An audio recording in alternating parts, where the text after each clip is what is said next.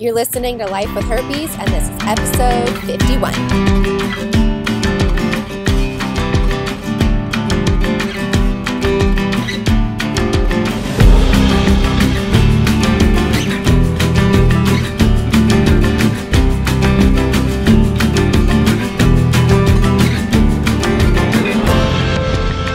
Hello, hello, hello. I am your host, Alexandra Harbushka, and I am actually recording this from France.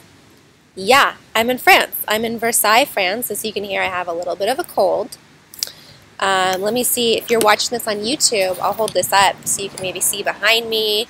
Um, it's about it's 6:30 p.m. here, so people are just leaving work. You can see there's families walking their kids. Um, so it there's a lot of fun stuff going on. And then let me see if I can show you behind me. You see behind here, right behind. ooh, let me move. Okay, where it's kind of shiny um, is Versailles, the palace. So uh, just to give you guys a quick tour, those of you that are listening to this um, in iTunes, you, I'm sure you can hear the traffic, you can hear the people walking by. So just imagine um, France, and um, you'll have to see my Instagram account. I've been posting so many cute pictures. Um, it's Ale- at Alexandra Harbushka. So, anyways, today I want to talk to you about traveling to Paris and getting an outbreak and getting a cold. So, I'm sure you can hear my voice, I have a little bit of a cold. Um, so I just want to talk to you guys about that, what it's like to really feel like you're doing everything to avoid an outbreak, and lo and behold, you get it. So I don't know um, if you have traveled across the world or what, since you've had herpes or not since having herpes. So without herpes, still traveling across the world, country, wherever you go, is it's stress. It's a lot of stress on your body. And whether you realize it or not, um, your body's kind of in shock because it doesn't know where it is. It doesn't know where it's sleeping. It doesn't know its surroundings. You're kind of on alert. Um, your your entire system's on alert, whether you realize it or not. So let me just kind of walk you through um, my prep time before coming to uh, Paris. I went. I made sure I took naps the whole week. Um, I'm a huge nap taker, but I've shied away from naps because it's important to get your sleep while you're sleeping, like during the night. So I've shied away from naps, but I made sure that I napped um, the week up to my trip. I went to acupuncture to boost my immune system. I took extra um, herbs and minerals to make sure, again, to make sure that I was uh, really on top of my immune system so that A, I wouldn't get sick, and B, I wouldn't get an outbreak. I don't know which one's more important, sick or an outbreak. Regardless, they're both shitty. So um, I felt really strong, really confident get going up to this, but and I took all my vitamins and I had a great meal before getting on the plane. It was actually my dad's birthday. We went up to a really nice dinner, got on the plane, slept but of course, it's not really a real sleep, right? You're in a chair traveling in a metal tube with the ice, the ice cream, with the, um, it was icy. I'm trying to, I, gosh, my words are all over the place. Sorry, guys. It was so freezing. So you're like wrapping up in this little blanket and a scarf. And I think that is where it started, right? You're you don't sleep. So you travel, you don't sleep. I had a connection in Iceland. Iceland, have you, have you guys ever been there? I didn't really know. I know this sounds naive, but like I didn't really think of it as a place of destination. But it's a beautiful country. Um, but I got to Iceland. I wasn't drinking any water. I didn't go to the bathroom from California until Paris. Like that's not healthy, guys. So I wasn't hydrating, um, not really sleeping fully. I was eating good meals. I was taking my vitamins. I, I brought meals on the plane and made sure I ate. But that's what sets it off. So the tone of getting here, and then you get here, and you don't really sleep as well because you're jet lagged. So And then it takes you a while to figure out am I eating breakfast? Am I eating lunch? What am I eating? Should I eat now? Should I not eat now? Um, and so those things really, really, really play a huge role on our bodies, whether we realize it or not, right? So, really, if you think about it, even though I did my best to sleep, I did my best to put good, nourishing food in my body, I still I didn't even drink water. I didn't have to go to the bathroom. That's horrible. That's really, really, really horrible, right? So your body just goes in absolute shock when you travel across country. And I really thought this time I would be kind of nipping it in the bud. Like I said, I, I took extra vitamins. I took naps. I went to acupuncture. I was really on top of it. And lo and behold, I get off the airplane, go to dinner with a friend um, who I'm visiting here. She and I go to dinner, come home, take a shower. I'm in the shower and I go, damn it, I'm getting an outbreak. So I immediately took my antiviral, nipped that in the bud. I really didn't have a severe outbreak. But one of the things, what I'm getting to, is one of the things that you don't realize when you're on vacation, and for those of you that have experienced it, it's almost like you're in a game. It's play. It's like a play. Like it's not your money, it's not your bed, it's not your hours. You wake up at funny hours, it's not your food. I don't speak French. I have no idea what people are saying. Um, I don't know how to read menus. I had to Google every word. You're walking around. Um, hold on, I'm to take a sip. It's good. Keep my, my whistle, wet my whistle here. But our first day, we walked and walked and walked and walked. We walked 16,000 steps. And I did that all on a bowl of oatmeal.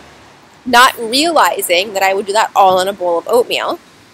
Um, but you just keep walking. And so my point is, is I didn't feel the symptoms. I didn't feel the symptoms of, you know, I was fatigued, which is normally an outbreak symptom, but I was in Paris, so I just assumed I was fatigued because I had just traveled across the, the, the world, you know. Um, my throat started to hurt, but I was like, oh, it's because I'm so tired that my throat's hurting. So all those little warning signs that our body typically gives us, and for you it might be something different. I'm also talking about outbreaks and a cold, um, but we have little little uh, warnings. Like you get hungry and your your stomach grumbles. Well, when you're in another country and you're on a different time zone and you're just walking, walking, walking, walking, your stomach like forgets to get hungry. Um, you forget to get thirsty. You like your body just goes into the survival mode. So I put my body in survival mode for so many days. Got through the outbreak. That was gone. Uh, went away. Went away in like two days. Never even noticed it. Was not even a big deal. And lo and behold, two nights ago, I was like, "Fuck, I'm getting sick." And I boil it down to the outbreak right? When you have an outbreak, your body is on alert. It is trying to heal itself. It is like fix the outbreak, fix the outbreak, fix the outbreak, and it's not focusing on my sore throat or my runny nose or the fact that some little other virus got in here and is making me sick, right? And so I just I, I ignored it, and I take full responsibility for ignoring it. I full, take full responsibility for not getting on the time zone and not taking extra vitamin C once I got here and all of that fun stuff. So I just wanted to share that with you guys. Um, have you experienced this? This is really my first time. Every time I travel, I typically get an outbreak. Um, for whatever reason, it is what it is. Let me reframe that. Every time I travel uh, on an airplane, so basically switching time zones, um, I get an outbreak. And however, I don't get colds. Um, I haven't had a cold in forever. So um, this was my, this is one of the, the uh, triggers that we have to be mindful of once we get outbreaks is our immune system is like, fuck you, you just put me through hell, and I can't protect everything, and here you are running all over Paris, and it's cold and it's raining, and then it's hot one day, it's 75 the other day, and you're in cashmere and you're sweating, and it just couldn't figure out what to do. Um, so I don't know if you have these triggers or when you get outbreaks, if you get a cold, um, or what happens. This is my first time actually getting a cold while getting an outbreak. Now, I also have never had a cold and then gotten an outbreak. So I've been lucky to get them separate. This is my first time, I believe, getting a cold that is a result from the outbreak. But maybe not. Um, but yeah, I mean, my body should not be in this much stress that I put it through. Even though I thought I was doing everything right, guys. I packed like little, I packed jerky, I packed crackers, I packed all the little like nummies for the plane so I wouldn't get hungry, all sorts of stuff because you never know what they serve on planes. So, anyways, this was just more of me telling my story of what's going on right now um, in Paris, which I'm now in Versailles. Um, just to give you a little history lesson, Versailles is about 12 miles out of Paris, so it's pretty close to the city. Um, it's a it's a beautiful little it's a city as well. It's not obviously anything like a big metropolitan city like Paris, but it is very sweet to see families walking around. Um, it's so funny because on Sundays everything closes. There's nothing open, and it was like so. My I'm here with my girlfriend Marissa, and we realized at one o'clock that the the farmers market closed at two, and there was nothing else open. So if we didn't make it to the farmer's market, there was no dinner, there was nada. So it's just, it's been such a fun um, experience to like run to the farmer's market, then try and buy stuff, and you don't speak the language. And so you're like, how much is this? Or what, what am I buying? I don't know what this is. Um, it's just been fun. And then today, all the restaurants are also closed. Um, so it's just, it's just a funny um, experience. So you'll have to go check out my Instagram at Alexandra Harbushka. That's my personal Instagram. Um, I have one for life with herpes as well, um, but that's just my personal one. So it's it's I've had a really fun time here. So I just wanted to kind of share with you, like I I got a cold and it sucks. Having a cold really sucks. But I'm hoping if this is my cold for the season, then I'm done. This is my hope that I won't get another cold kind of you get one and then you're good for the rest of the year is my hope. Especially since i'm getting married in a month like less than a month. I'm getting married so hopefully i won't get sick again. All right guys i am just rambling and rambling and rambling and rambling. So i am going to go um, the garbage men are staring at me like what is this girl doing? It's been really funny to watch people stare as they as i walk they walk by like what is this girl talking about? What is she doing? So anyways um, if you have not joined our group, join it. It's awesome. It is free. F R E E. Go to lifewithherpes.com, sign up, say hi, join our Slack group. There is a lot going on in there. Check it out. Um, join it. I'm also doing, ooh, I can smell the garbage now. Ugh. Um, I'm also doing some coaching, which was requested by you.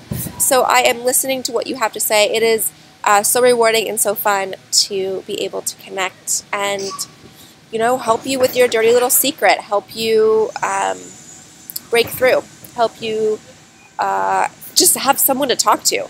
It is uh, wonderful to be able to share those conversations with you. All right my friends i am going to peace out. I am going to go i think i'm going to walk down to the palace. I'm going to do that maybe record another episode, and call it a day. All right. Have a wonderful rest of your day, my friends. Bye.